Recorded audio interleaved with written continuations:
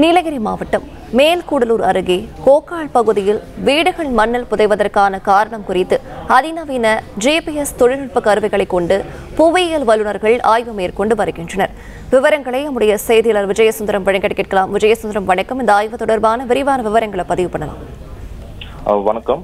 நீலகிரி மாவட்டம் மேல்கூடலூர் அருகே உள்ள கோக்கால் பகுதியில் வந்து வீடுகள் வந்து மண்ணில் புதைவதற்கான காரணம் குறித்து வந்து புவியியல் வல்லுநர்கள் வந்து அதிநவீன ஜிபிஎஸ் தொழில்நுட்ப கருவிகளை கொண்டு மண்ணின் தன்மை மற்றும் பூமியினுள் செல்லும் நீரோட்டம் ஆகியவற்றை வந்து தற்போது ஆய்வு பண்ணிட்டு வந்துட்டு இருக்காங்க. அதாவது நீலகிரி மாவட்டத்தில் கடந்த மாதம் முதலே பெய்து வந்த தென்மேற்கு பருவமழை காரணமாக கூடலூர் அருகே உள்ள மேல்கூடலூர் கோக்கால் பகுதியில் இருக்கக்கூடிய ஒன்றரை சென்ட் என்னும் பகுதியில் வந்து திடீரென பகுதிகளிலையும் வீடுகள்லையும் வந்து விரிசலானது ஏற்பட்டது.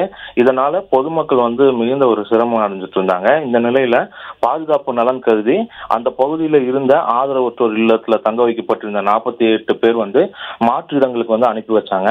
பின்பு தொடர்ந்து மழையின் காரணமாக வந்து வீடுகளில் விரிசல் ஏற்பட்டதோடு ஒரு சில வீடுகள் வந்து இடிய தொடங்கின.